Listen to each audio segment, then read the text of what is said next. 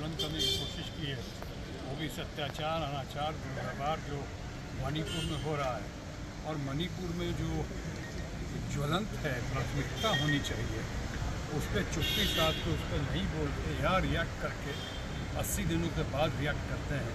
वो भी जब सुप्रीम कोर्ट की फटकार मिलती है और वीडियो सरेआम आ जाता है, उसके बाद वो हरकतें करते हैं। और उसके बाद जब जवाब देते नहीं बनता, पार्लियामेंट के बाहर बोलते हैं। और जो हमारे अपने लोग क्या संजय सिंह हो चाहे राघव चड्डा हो चाहे सुशील जी हो चाहे जितने हमारे नेतागण खड़गे साहब हो सब लोग जब आवाज़ बुलंद करते हैं पार्लियामेंट में तो उनको उनके खिलाफ क्या क्या इल्ज़ाम लगाते हुए उनकी बातों को नहीं सुनना दबाना और ये कहते हैं कि विपक्ष चर्चा से भाग रहा है अधूरा सत्य है यहाँ पर विपक्ष चर्चा से नहीं भाग रहा है विपक्ष नियमानुसार जो चर्चा होनी चाहिए जिसके लिए इन्होंने सत्ताईस का नोटिस हाँ टू सिक्सटी सेवन का जो नोटिस दिया हुआ है जिसमें सरेआम सारे दिन पूरे पब्लिक के सामने चर्चा हो सकती है।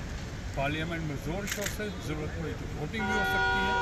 वैसी चर्चा से भाग कर आज बात कर रहे हैं कि इसके ढाई घंटे और दो घंटे की चर्चा पर जहाँ कुछ देर सरकार बोलेगी कुछ देर विपक्ष बोलेगा तो फिर बात का समस्या का समाधान कैसे होगा?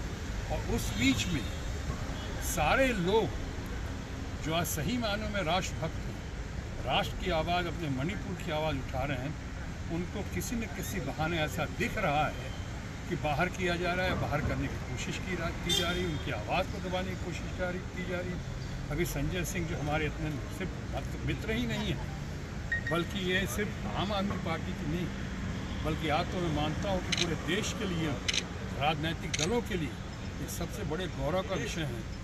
कि सबसे आके प्रखर आवाज़ में जिस बुलंदता के साथ जिस मजबूती के साथ निभा बात रखते हैं उनकी आवाज़ घटने की कोशिश हुई है।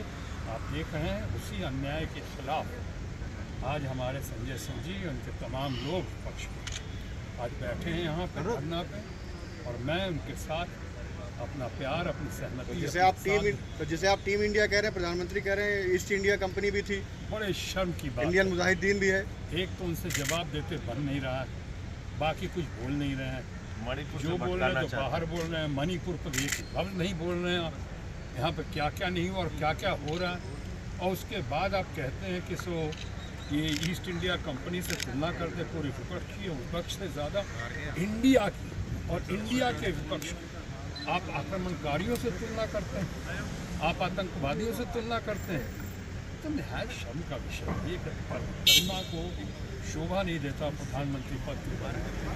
किसी प्रधानमंत्री अगर आप निरुत्तर हो चुके हैं, अगर आपकी बोलती बंद हो चुकी है तो इस वक्त ऐसा कहना, ये बिल्कुल जले पे नमक छिड़कने का आप काम कर रहे हैं। और अगर वाकई आपको लगता है कि इंडिया जो है, ईस्ट इंडिया कंपनी से इसकी तुलना की जा सकती है तो फिर ऐसा सही हमारे राघव चड्डा जी ने कहा कि government of India prime minister of India संविधान में इंडिया भारत है और भारत इंडिया है।